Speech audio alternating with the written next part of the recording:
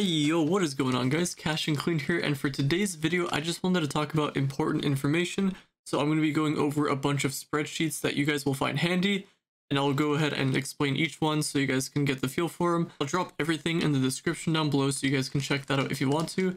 And if I find some more things along the way, I will be sure to update them or add in some new ones. So if you guys have any spreadsheets that I don't talk about in this video, feel free to let me know, just message me or whatever, and then I'll just add it to the description and you guys can check it out that way. Now, before I get into this, I want to give a massive shout outs to the people that obviously made the spreadsheets and everything here. Shout outs to Sly for making some really cool tools that I'll show you guys in a second. And then obviously everyone from Alpha Legacy that put this together and just everyone else that made these spreadsheets. So shout outs to you guys, you know who you are. But anyway, let's get into it. So let's start off with the first one here where we have gem stats combo. So at the bottom here, you can see which characters there are. They're uh, abbreviated, obviously. So we can go here, we have Bard, and the cool thing about this is if you want to go for a specific gem combination, everything in here tells you how to do all of that, and then if you have uh, a certain build you want to go for specifically over here, you can kind of fill that out yourself, and there's like a bunch of cool settings options, some customizable things in here that you guys can check out, and there's one for every character in here, so that's the other cool thing. A couple things I want to mention, if you don't know how to read anything here, I've talked about this in my previous gem videos, like, I don't know, a couple years back, this was a while ago, but if you don't want to check that out, I'll kind of just explain everything here. Actually, it does it right here, but basically basically the first two stats you want to look at here is going to be your empower gem. So this is going to be your magic damage. So for Ice Sage it's going to be magic damage. If you had a physical character it'd be a physical damage thing. And the second one is going to be crit damage. And this is for your empower gem. So keep that in mind. Now the second part of this is for your lesser gems. So it's going to be four boosts onto magic damage and 14 onto crit damage. And obviously you want every single boost into light for your cosmic gems so that's why there isn't really a, a third spot there. I don't really know why you wouldn't want to go for light, but basically it shows you everything there. Honestly, you don't really have to follow this. As long as you just evenly distribute your uh, boosts just off of crit hit, you should be fine. And if you click this link already, you'll probably tell that you can't really click on anything. I tried making a copy of this, but you can't really do anything with that either. But if you go to the intro tab here on the left, you can actually just click that link. It'll bring you here and uh, you can just customize things how you want. You can go to certain characters, uh, subclasses, organize it however you want to, subclasses, and yeah, it's pretty cool for that. Next up, we have the star chart over here, so it's going to bring you here to the intro page, and depending on which one you want to go for, it's going to be entirely up to you. So if you just have a magic damage character that you have, and you want to focus on light, you can go for this one.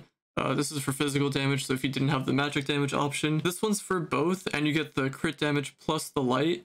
Uh, you probably don't want to do the one for flasks. I would honestly just recommend going for this one over here, the movement speed, the magic damage, and the physical damage. So this is going to be the route that you take. This is with 40 celestial spheres. So in the future, if we ever get more than, uh, I don't know, you can fill out more depending on which one you want to go for. And for whatever reason, I have to refresh the page every time I click on one.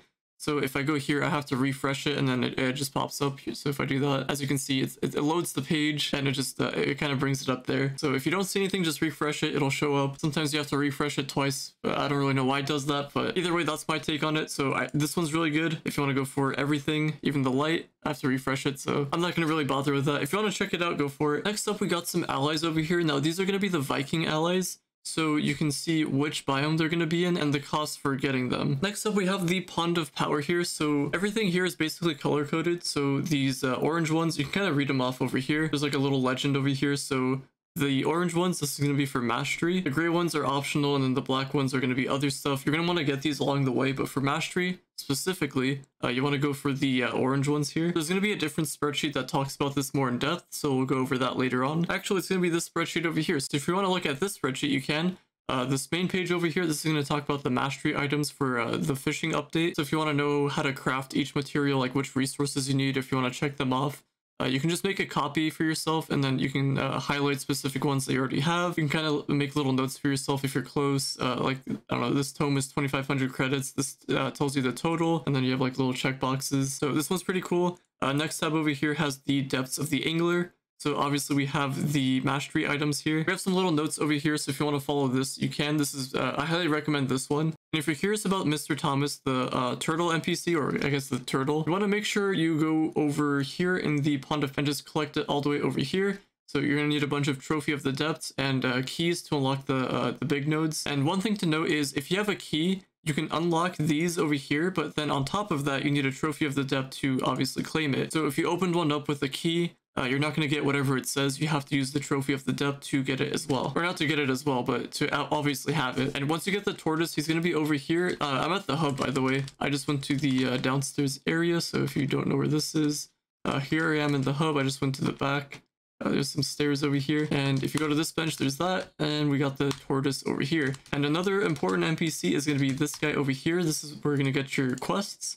And if you want to get uh, more quests, if we go down in the uh, Pond of Power here, you're going to see, I think, it, this one over here. So Freshwater Friends orders, you're going to get more uh, recipes at the that merchant over there. He'll sell you some stuff. Basically, you give him flux, and then when you do those quests, you fish, uh, it gives you marks of the angler. So we have the Friends orders two here, and then we have the third one over here. Next up, we have another thing for the star chart. This is for mastery, so if you want to look at the mastery stuff, you can. I'm not going to get into this too much, and I talked about the star chart part already. Next up, we have the fish. So this is for the fishing update. If you want to know how to get these, you can already just check from the description, but mainly just want to go into fishing pools, and that's how you're going to get get them. And then I'm pretty sure that changes, this is just additional patch notes that happen. You don't really have to worry about this too much. And actually this next one is talking about fishing. So if you want to know how to get a certain fish, uh, this is it right here. Uh, they're color coded. You don't have to go to a fishing pole. This is just your general fish. So if you go out in the water, just uh, make sure you have a lure active, get your fishing pole out. And if you get any common ones in the water, you can get these ones over here. Uh, lava will give you these common ones, and then chocolate will give you these common ones. And then we just, you know, so on and so forth. You go all the way down. These are going to be the rare ones. We have some additional notes down here. So if you really want to, you can just cross them off as you go in here if you want to check them off that way.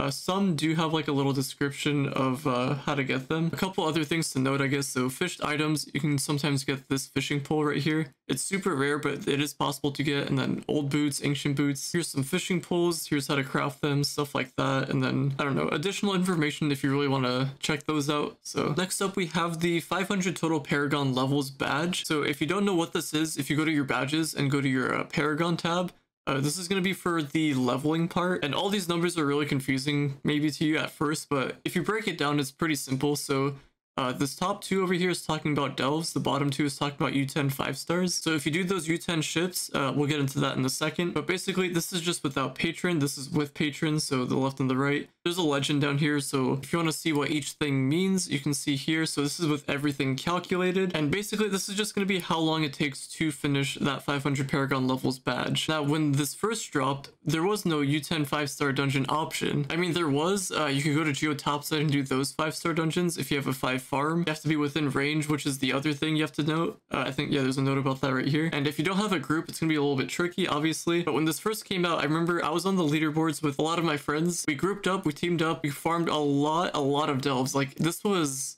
a solid three days straight. I'm pretty sure I was awake for at least two days straight. It was kind of crazy. And then uh, obviously I didn't get much sleep for the other couple days. I think this took a total of five-ish days to complete for me. Little fun fact, I was the first one to complete it, but I couldn't have done it without my friends, so shoutouts to you friends. If you're watching this video, you know who you are. Yeah, they, they finished it just shortly after me, so... Anyway, that five days that I could have spent would have been done in 39 hours if I had everything here.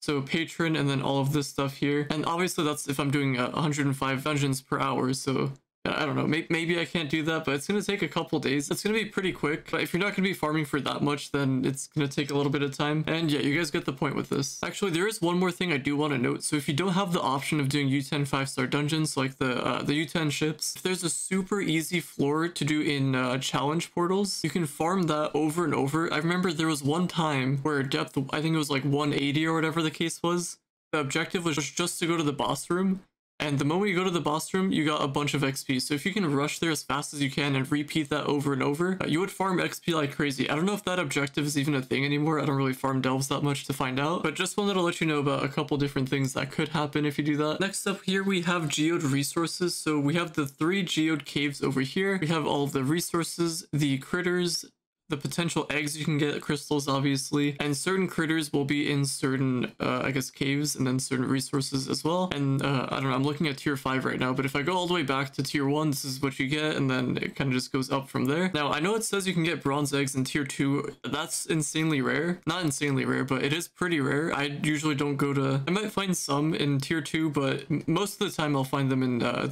like 4 or 5 really. And then the odds of you even getting a gold egg like good luck with that. Like that is in insanely low. Like you have better odds of getting back-to-back Gondas than getting a gold companion egg. So if you have gotten one from the caves, uh, GG's I guess. But the best I've ever got was a silver and that was like one silver out of all the times I farmed this. And if you want to look at specific things like materials, uh, you can just look at the materials for what you can find in each tier and each cave. Same with the plants and the critters. This is just for everything. And this next one over here is for your crystal gear stats. How long it takes to upgrade each thing, like the materials you need. It goes all the way to crystal 4. All the stats that you can get on your crystal weapons, your faces, whenever you loot collect them, stuff like that. And we have a tab for literally everything on here, but I don't know if some of these are even updated. So I just keep the Crystal Gear stats. If you want to keep that, you can. And yeah, that's basically going to be it for today's video. Hopefully you guys have enjoyed. Like I said, if I find a new spreadsheet, I can add that in the description. I know there's a Memento one. I'll add that in the description as well. But if you guys have one that I didn't include in the description or whatever, where I didn't talk about in this video, let me know and then maybe I can add another or a couple more in the description. But yeah, that's going to be it for today's video. Sorry it took a little bit longer to upload uh, this video compared to my previous videos. I try to upload every three to four days, but sometimes I kind of just run out of things to do. Sometimes I get busy. You know, I can only make tutorials for so long for Trove before like there's nothing else to upload. I might have to adventure off into other content, but I guess we'll see. Anyway, I'm done rambling on here. Thank you all for listening, watching, viewing, and subscribing, and I will talk to you all